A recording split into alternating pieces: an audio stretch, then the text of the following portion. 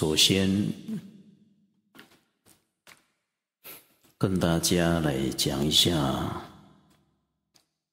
也跟大家说一声祝福。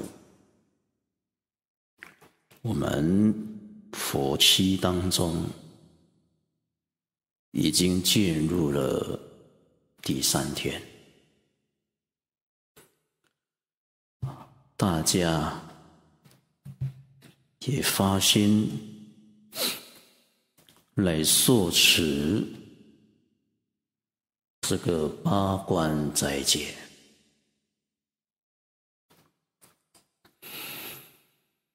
确实啊，值得我们来为大家祝福而恭喜。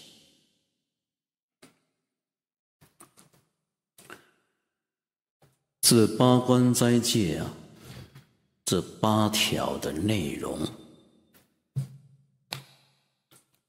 曾经过也跟跟大家简单的报告了。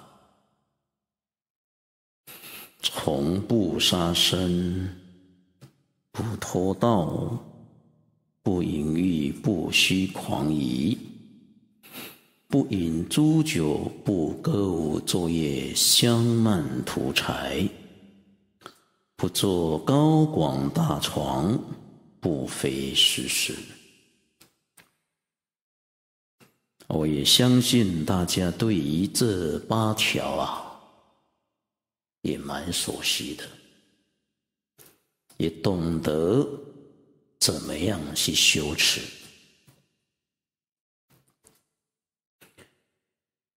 只是这八条有几项啊，啊，要跟大家来说明一下，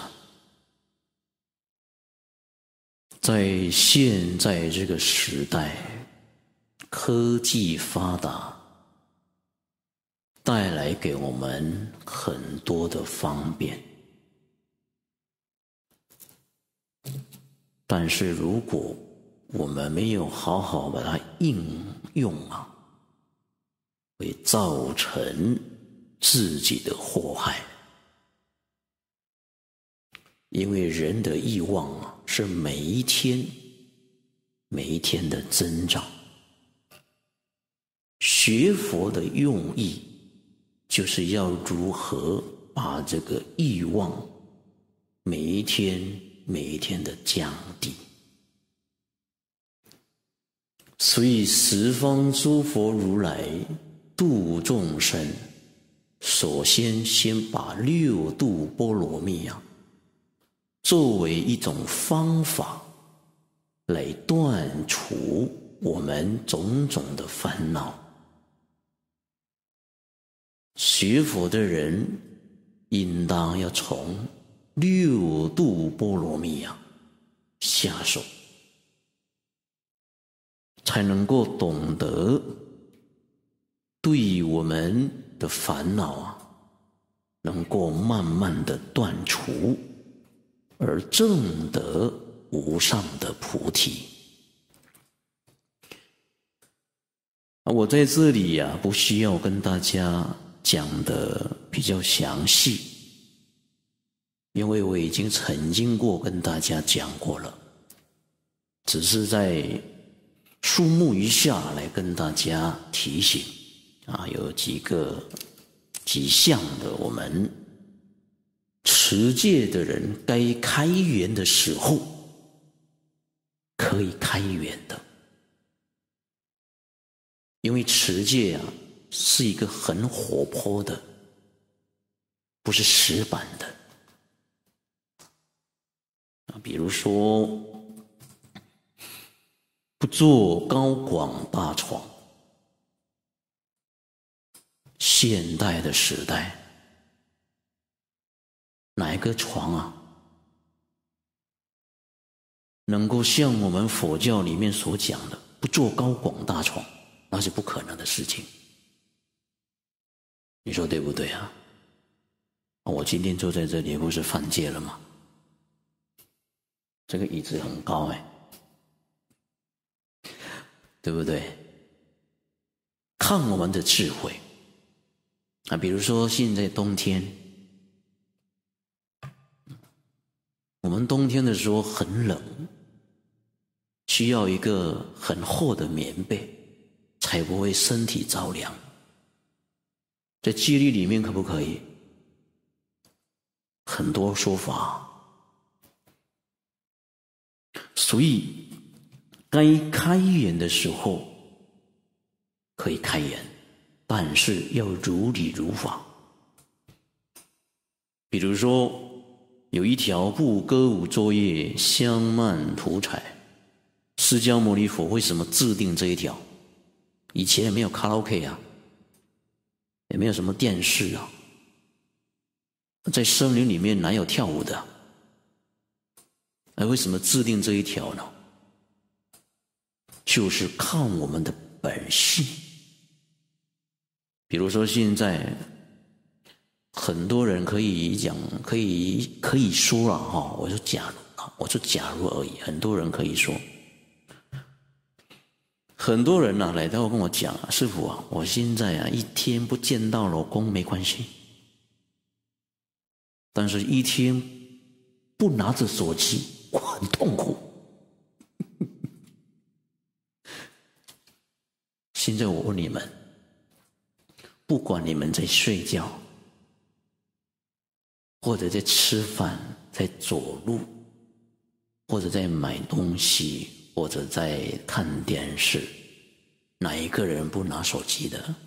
请举手。才一个人呢？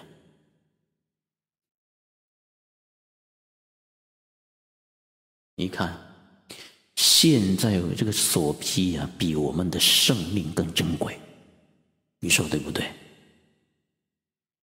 一旦手机不见了，你会发狂的。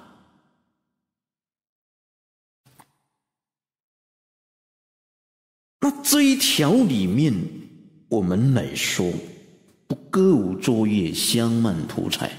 以现在这个科技来说，我们需要，但是我们不能过于自着，因为造成而人的烦恼。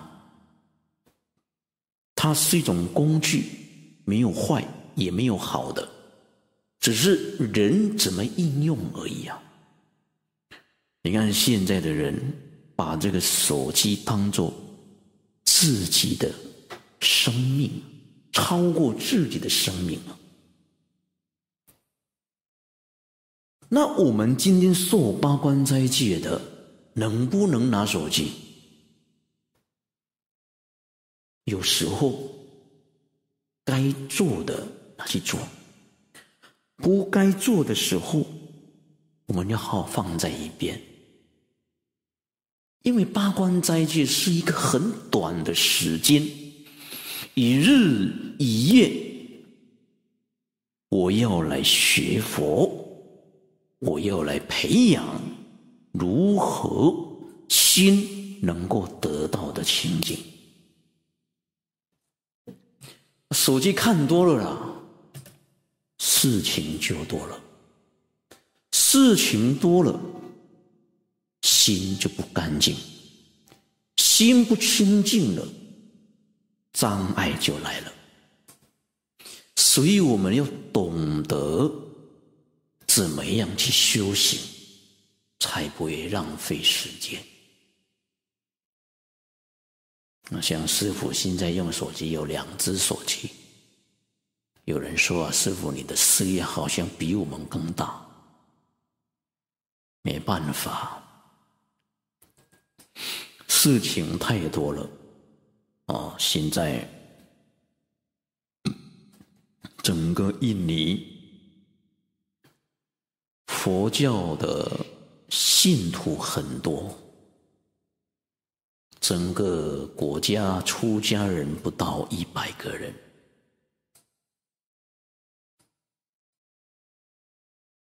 最近呢，我们所看到的这些资料。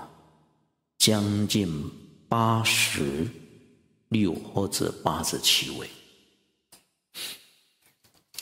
所以啊，到处要去弘法，把这个佛法教义的精神，能够来介绍给大家来分享。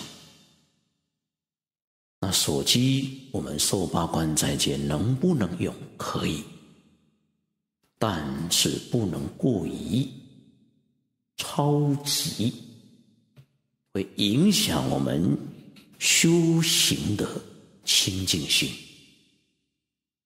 啊。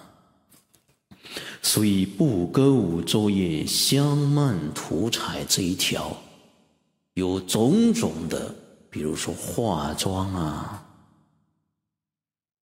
八关斋戒还需要化妆吗？不需要。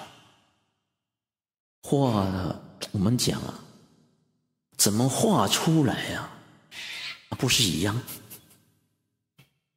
你现在你好好来学佛，培养你的慈悲心，就如同大地藏菩萨本愿经有一条。就是大慈悲光明缘，你能够培养你的慈悲，用慈悲的心态来服务自己，来对待一切人，你是最完美的一个人。那个是真的。大家，你看看我们的观音像，观音菩萨漂不漂亮？很漂亮的，你看世界选美女呀，真的她是最美的吗？不见得啊。中国有十三亿人，台湾有两千多人，澳洲有两千多人，印尼有两亿多，选择二十物贵，然后选择她是最美的。有这样的道理吗？没有啊！谁最美的？你们最美的。哦，这个是真实的嘛？所以，尊敬的诸位同修大德，培养慈悲心对待一切人，那个才是最美的人生。虽人长得不好看，显出来的就是最美的。你看观世音的像，每一个人看到观音菩萨的像，我们不要说别的，看阿弥陀佛的像，你的心里是怎么样的？安慰的，有一种爱护，有一种依靠，有一种归宿，好像有人在保护我的，这个就是慈悲的力量的。所以佛法里面所讲的。慈悲为本，方便为门，就是这个道理。所以，这个八关斋戒里面啊，我们要懂得怎么样去修持，要用智慧，不能用感情。我们现在都是以感情用事，我们应当以智慧来看事。这样就对了。所以，尊敬的崔同修大德，现在的人真正的想要来学习、来修养、来学佛，已经不多。那我们这个道场能够维持这个样子啊，已经算不错了。已经要维持下去。让这种的气氛呐带给大众，那我们这样建道场是对的。如果建道场为了这个道场完美漂亮搞热闹，为了要拉信徒，为了让名闻利养，为了要扩大自己的自私自利，这个道场你不用去就好了，好好在家里念佛。不用去，去也没有用。所以，这种的气氛，我们一定要维持，让佛法给大家应用在生活里面，让佛法在生活里面能够一点一点的去体会，这样学佛才有有用啊！所以，尊敬的诸位同修大德，这八条戒里面有各有可以开源的，比如说不非时时，就是过午不食。我们是以时间作为标准，十二点过了，我们就不能有对于食物的这个观念的念头，能够去避免。妄念少了，我们的分量啊，就是我们身体所需要的，就降低了。妄念人的多，所以食量啊就越多。那要怎么样把我们的妄念能够在生活里面一点一点的去体会？那我们用念佛的手段来帮助，再加上以持戒的手段来成就。所以，有时候可以开源的时候就开源。非时时这一条。如果我们的身体有一个障碍，没办法维持，你就可以开源，没关系，不用执着，一切法重新想生。怎么修呢？大家看着办，好啊！其实啊，这个八关斋戒啊，大家应当也了解了。我是自借用八关斋戒这个时间，短短的时间，来跟大家讲讲佛法。我们现在好像聚会一处。我们来研讨这个佛法，我们修行的过程哪一个地方不对？哪一个地方需要反省的？哪一个地方需要精进的？我们用佛法来解决，因为佛法的内脏藏着一个很宝贵的东西，是什么呢？佛法里面藏着一样的东西，比世界上的明珠更宝贵，是什么呢？就是智慧。有智慧的人不会犯糊涂，有智慧的人不会去造业，有智慧的人每一天用慈悲的心态。怎么样对待自己，而来对待别人，这个是智慧。有智慧的人看一切事，人都是跟我一体的；有智慧的人看一切事、一切物、一切人，都是平等的。既然跟我们是一体，尽虚空变法界是一体的。哪来对众生的伤害呢？不可能的事情。这个学佛最重要的，就是要求智慧。世间人讲的，我要求快乐，我要求幸福，我要怎么样幸福？我要怎么样快乐？从智慧下手。啊，智慧从哪里来的呢？持戒而得定，定而开慧。这个是一定的道理的，所以莫学借用这个八关斋戒的时间短短的，啊，来跟大家讲讲佛法。因为莫学对学习的过程呢，日常生活以佛法来处事待人接物，以慈悲来看待一切人。对我自己的利益都非常之高，所以生活很自在。有就有，没有随缘，不用勉强。怎么勉强也没有用？为什么？心里面有福报，就有这个能力；没有福报啊，不用勉强，会很辛苦的。所以我常常跟大家讲过一件事，我现在常常把这一句话应用在我的生活里面，把这一句话应用在我的生命里面，让我的生命。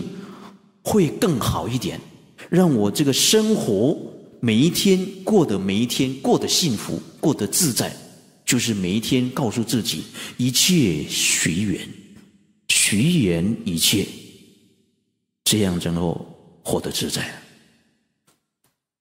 我每天就是这样跟跟自己讲的，一切随缘就好了，不要勉强，命里有的会有，命里没有的。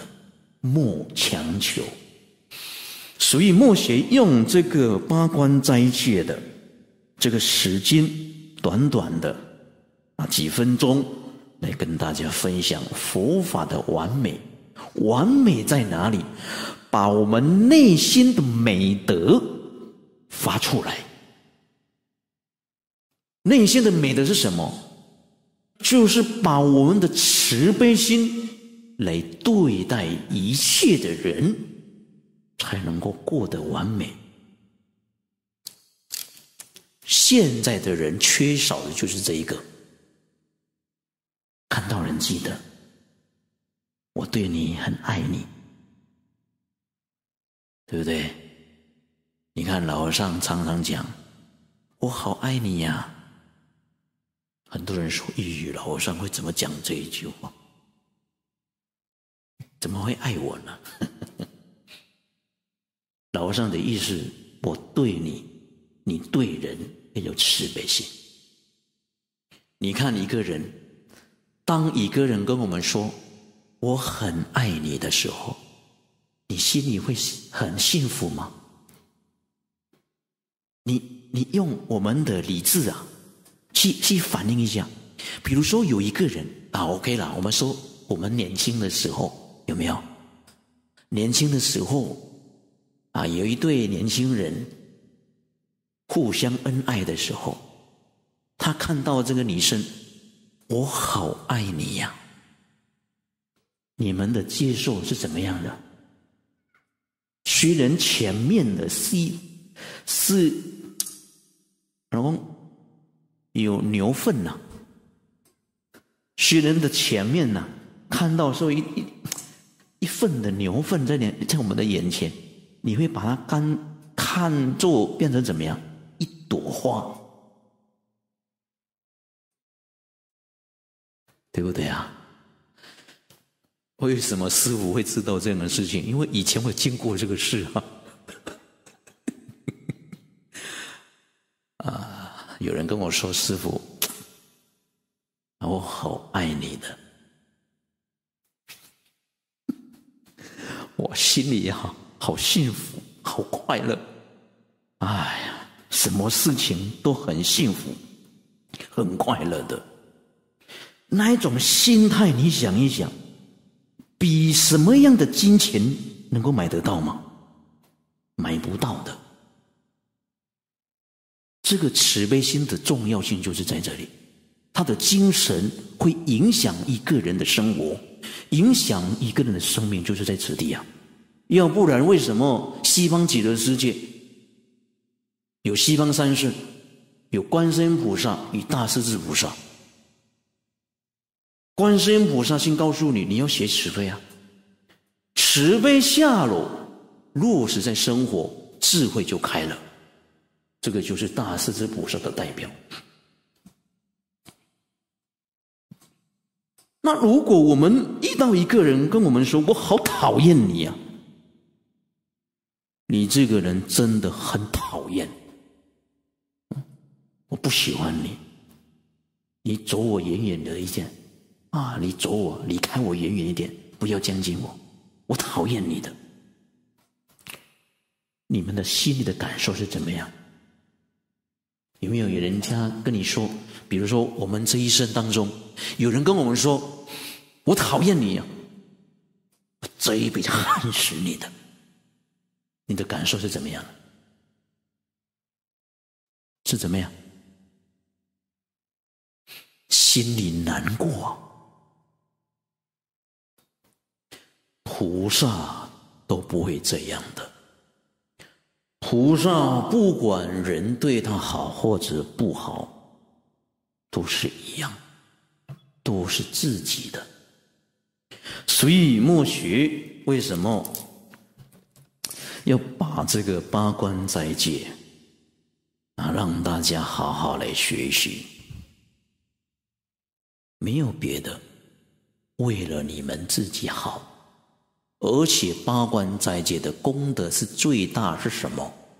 将来能够帮助我们证得阿耨多罗三藐三菩提，就是教我们能够证得无上菩提成佛之道。所以八关斋戒是十方诸佛如来教化众生功德之母。就是这个道理。那我有时候在想，我有时候在想哈，我们有时候啊是在追求什么呢？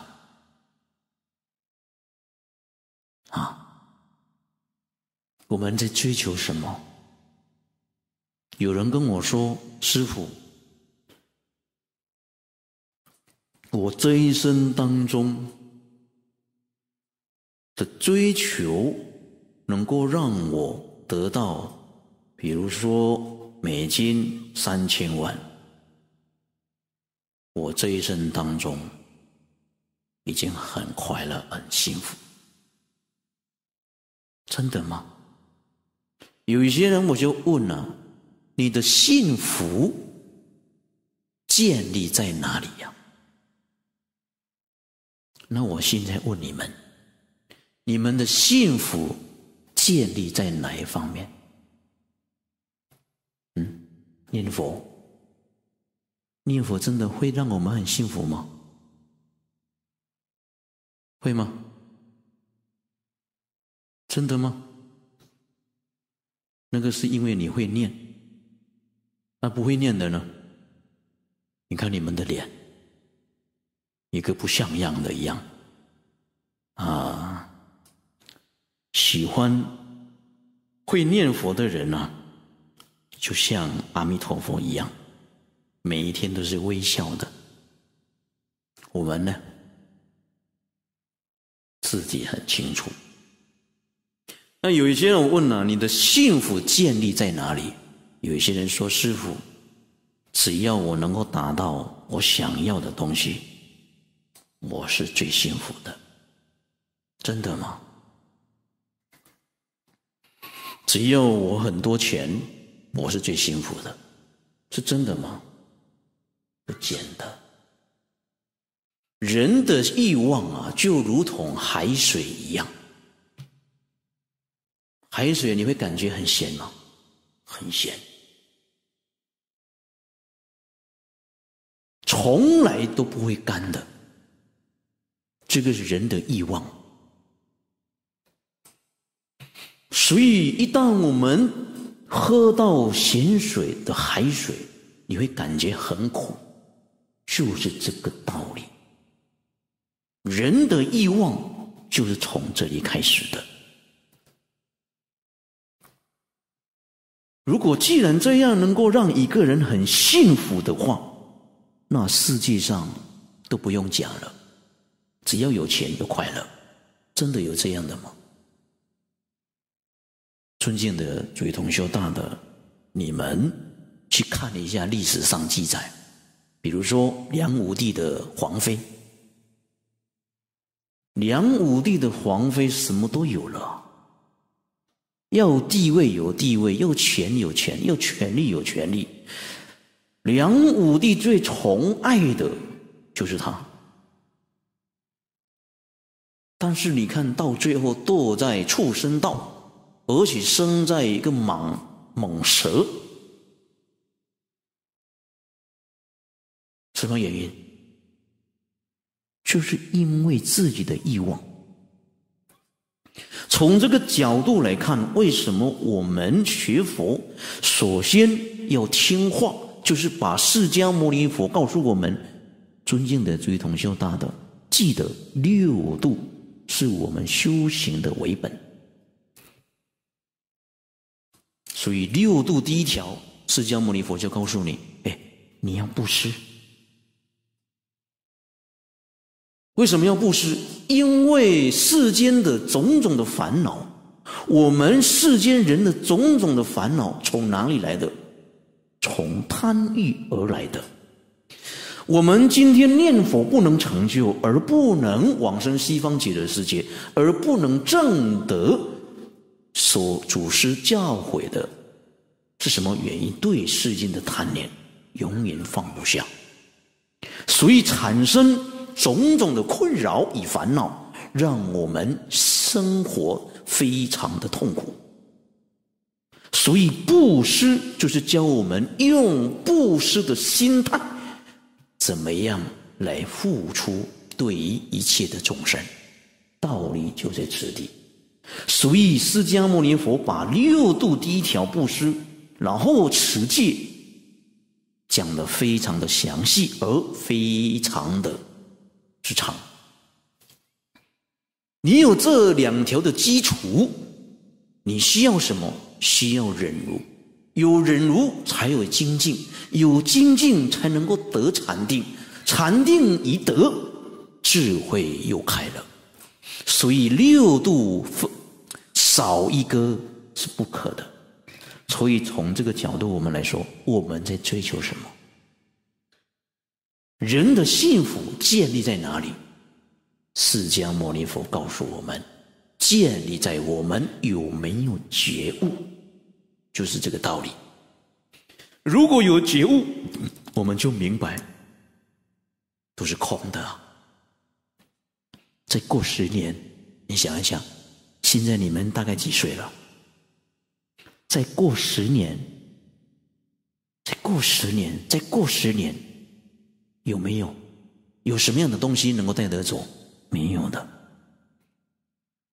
所以以前皇帝呀，有一个皇帝，还没死之前呢，把棺材呀挖了四洞，然后把他的脚伸出来，然后把他的手伸出去，让大家明白一个道理是什么：来空空，去空空，就是这个道理呀。所以，为什么要学习随缘而不判缘？这个就是我们最高明的智慧。这个就是智慧。什么叫做智慧？这个就是智慧。你念佛念得清净，这个就是智慧。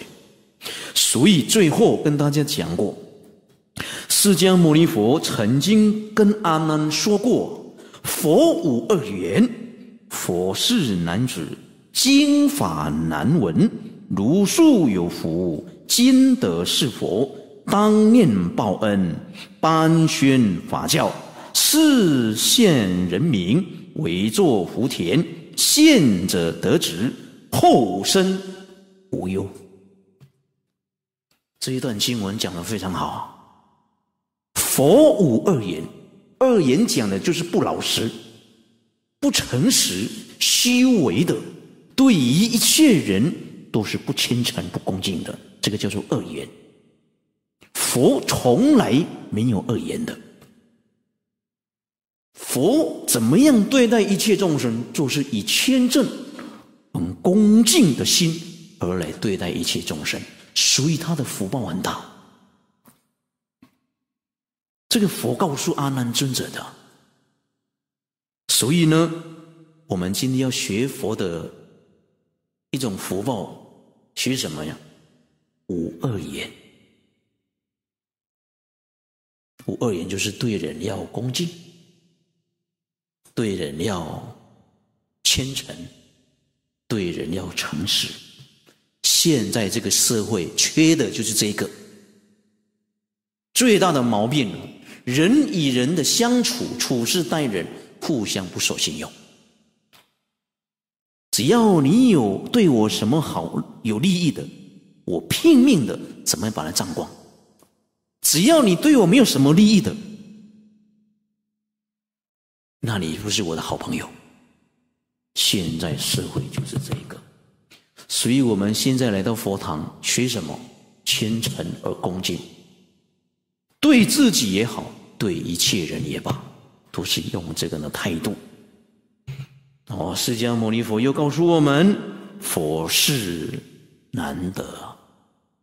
释迦牟尼佛能够示现在这个世间，非常难得。难得在哪里？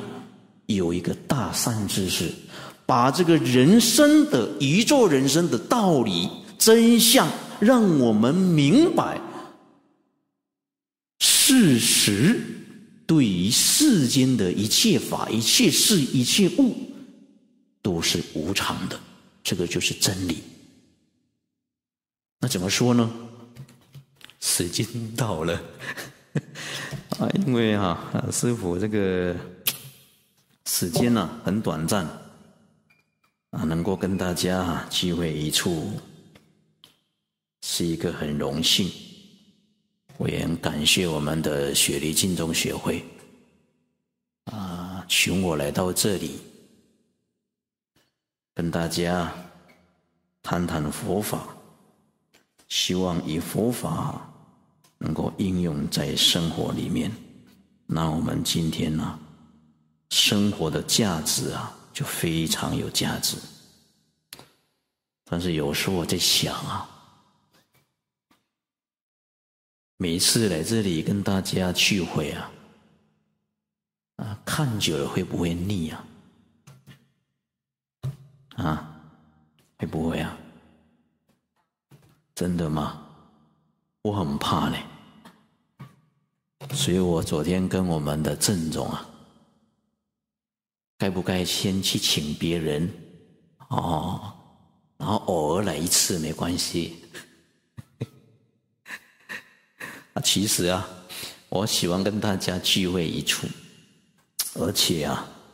我们这个佛学讲座能够跟大家研讨是一种美德啊！以后啊有这个纪念，将来离开这个世间，我有曾经到澳洲，然后啊将来又聚会一处，又在西方极乐世界，然后在西方极乐世界又一起来修行，那个时候啊。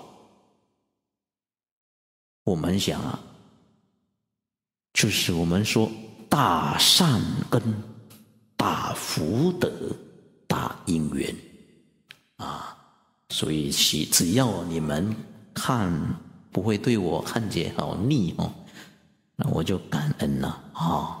谢谢你们的支持，谢谢你们的护持啊！我让我在这边跟大家来学习。接下来，我们等一下要继续研讨《地藏菩萨本愿经》，这个是我们这一次要跟大家学习的。今天讲到这里，谢谢大家，阿弥陀佛。